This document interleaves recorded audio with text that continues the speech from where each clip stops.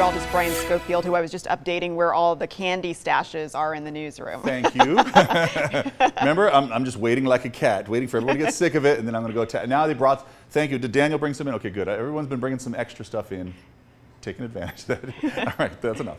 Uh, look at those clouds. Oh, I think they look good. Making the valleys, certainly uh, changing it up a little bit, making things a little more interesting for you folks at home. Of course, we're not calling for any showers for tonight, but nevertheless, we're seeing some cloud cover move in as anticipated, along with the wind moving in as anticipated, along with the temperatures dropping as we gave you the first alert for. So we're doing our job for you. I want you to know every day, even, even lethargic with all that candy inside. But let me give you some more headlines because the timing of our next system through that uh, really really has the potential to lead us, we have a couple systems actually, but it'll lead us to some rainfall or possible rainfall, let's say. Timing is going to be a little different. That's always so important. So we're looking at Friday, still breezy. Uh, we'll still have some sunshine, maybe a little mix of sun and clouds, but either way, nice temperatures near normal. So dropping into the 70s puts us near normal. For the weekend, that's when you notice the bigger changes. Uh, we're staying breezy. Winds start to pick up later Sunday, even stronger. They'll be strong enough Saturday to get you to notice them, but the temperatures are not going to drop dramatically. It's next week that we start to see things drop dramatically. Monday looked like our rainy, but some of that might lead into more Tuesday. So maybe less on Sunday, more on Monday and Tuesday.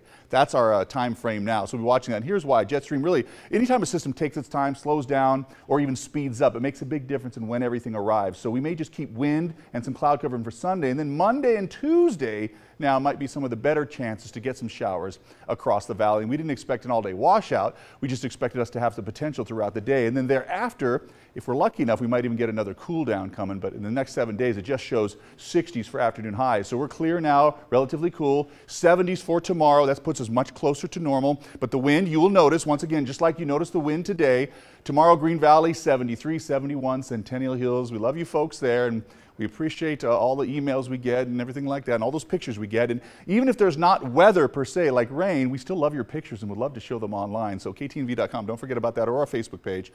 And definitely seeing the numbers come down, uh, not quite dramatically, but we told you we'd get some 60s. We'll be right there, once again, with big wind and a better chances for some showers come in for maybe Monday and Tuesday. All right, back to you.